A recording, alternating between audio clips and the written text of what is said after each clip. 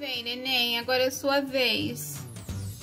Olha que fermentação, que atividade. Hum.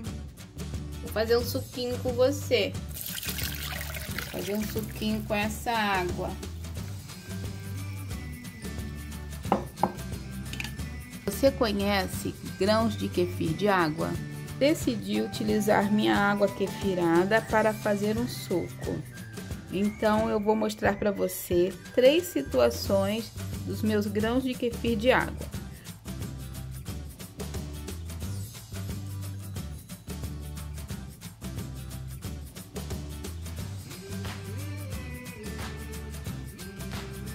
Kefir de água é uma colônia de bactérias no qual você utiliza para fermentar água açucarada. Água de boa qualidade, sem cloro, sem bactérias, com pH praticamente neutro. Então você utiliza esses grãos para fermentar esse tipo de água. O que fazer com a água quando ela já foi kefirada? Essa daqui é uma situação, daqui é uma outra situação e essa é uma outra situação. Essa colônia ela se multiplica cada dia, a cada troca você pode observar que ela vai se multiplicando. E o que fazer? Você pode doar ou então armazenar. Isso, você pode doar os grãos e armazenar na geladeira. Eu não recomendo que armazene no congelador. Eu tenho um vídeo falando sobre isso, eu vou deixar na descrição. Antigamente eu reativava a cada 15 dias, mas aí eu observei que não precisa, não há necessidade. Desde que você venha reativar a cada mês. Então, após um mês, eu recolho os grãos, coloco uma nova água. Aqui tinha mais água que eu diminuí para fazer o vídeo. E coloco um pouquinho de açúcar. Deixo ele fermentando por 24 horas, 36 horas e depois guardo novamente nessa mesma situação, com açúcar mascavo. Grãos, açúcar mascavo e pequena quantidade de água, muito pequena. Agora aqui estão meus grãos super ativos. Então é dessa água que eu vou fazer o meu suco. Olha como está a fermentação. Então o clima aqui está 30 graus foi o suficiente para fermentar durante 24 horas fora da geladeira. E já multiplicou. Olha o tamanho dos grãos. Então eles se agruparam. É simples assim. Não quer dizer que o grão esteja enorme, é porque eles se agruparam. E aqui eles estão menores, mas isso não quer dizer que eles não estejam saudáveis, que pelo contrário, esses aqui eu retirei daqui, então olha como eles estão. Então, para que eles permaneçam saudáveis, você tem que trocar a água constantemente. Não pode esquecer os grãos, senão eles estressam e diminuem até morrerem. É desse jeito, tá?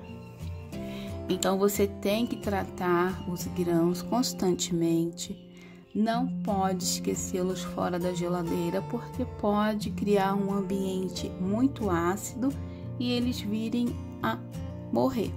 E aí, bye bye so long, very well. Aqui não, aqui eles estão armazenados, eles estão ativos. Olha a atividade deles, ó. Eles estão bem ativos. Esses aqui também, olha a atividade formaram bolhas. Essa colônia ela consome uma grande parte do açúcar, dependendo, dependendo do número de horas que esteja fermentando. Sempre experimente para ver se ainda há gosto de açúcar. Não pode ter gostinho de açúcar, senão a fermentação ela não foi completa. Então, o que, que você vai fazer? Se ainda continuar o gostinho de açúcar, deixe fermentando mais horas. Ele tem que estar com um sabor levemente ácido ou levemente avinagrado. Aí você decide pelo seu paladar, porque o açúcar ele é transformado, ele vai passar por uma transformação.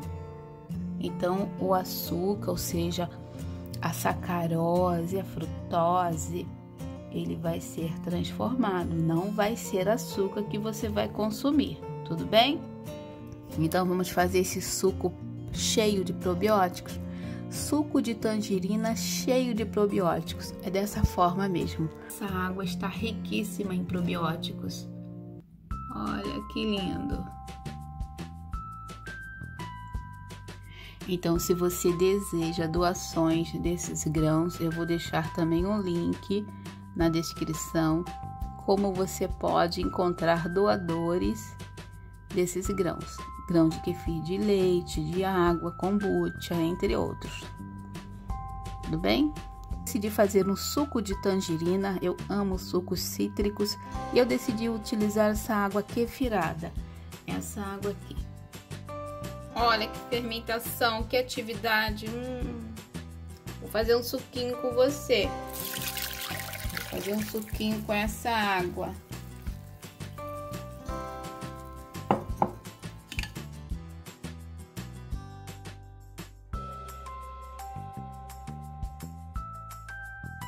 Então aqui estão, olha, como eles já se multiplicaram. Eram apenas três colheres de sopa naquele vidro. Olha a quantidade, eles se multiplicam muito rápido. Então é necessário que faça as doações. Existem pessoas que não têm o conhecimento de como esses probióticos são maravilhosos. Essa água ela está riquíssima em bactérias do bem. Bactérias do bem são probióticos. E esses probióticos são artesanais. Você mesma cultiva, você mesma deposita o seu carinho, sua dedicação, como eu fiz. Muito prático cultivar grãos de kefir de água. Agora nós vamos para o suco. Vamos lá?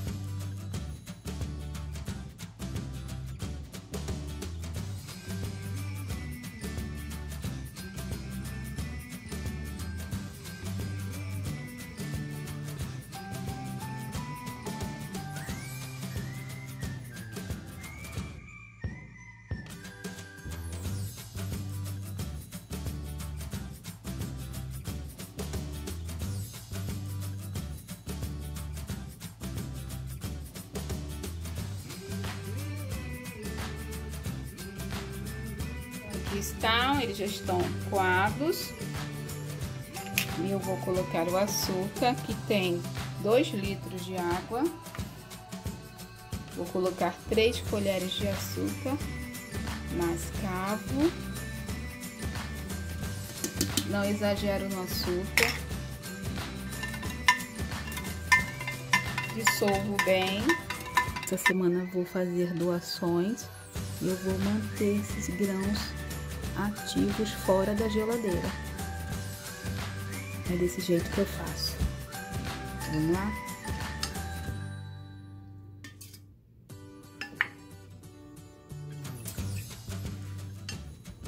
Bem delicadamente, tá? Eles podem quebrar e você achar que eles estão morrendo. Então, é bem delicado. Por isso que você dissolve primeiro o açúcar que são para doações e esse é para o meu uso. É simples.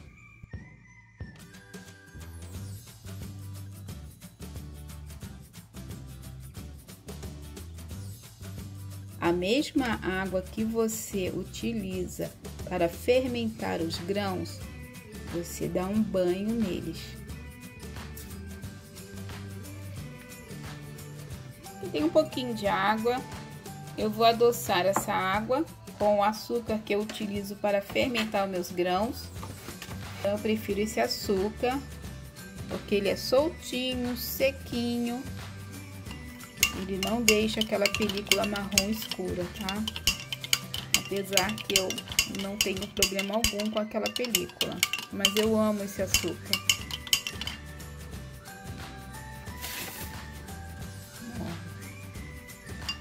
Bem para dissolver. Eu vou depositar os grãos aqui, porque eles vão ficar na geladeira, eles vão voltar para a geladeira, guardando um receptor. É simples armazenar grãos de kefir. Mas, Elza, a minha geladeira vai ficar muito cheia. O que, que eu posso fazer além disso? Ah, você pode consumir, pode colocar na saladinha, nas plantas. Então, você pode dar sim para os animaizinhos, desde que você procure o veterinário, tá? Aí, você vem aqui, ó. Ó. E eles vão receber o alimento que eles precisam para sobreviver que é a sacarose, frutose, glicose. E não precisa amassar não, deixa eles aqui. Daqui a pouco eles vão estar inchados. É, mamãe. Olha como eles estão super saudáveis.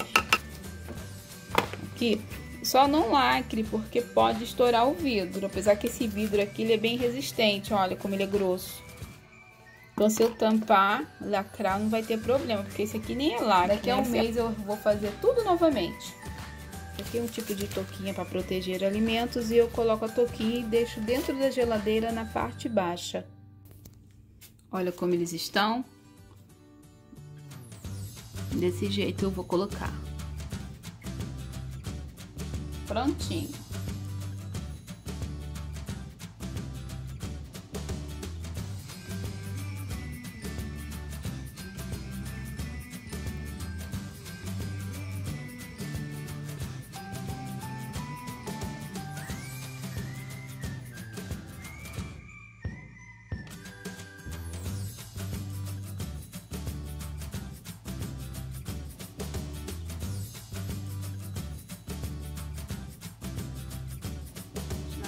Baixa da geladeira.